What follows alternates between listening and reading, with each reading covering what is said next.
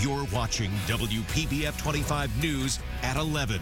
The Schmidt Boca Raton History Museum is celebrating its newest exhibit tonight, Florida in World War II.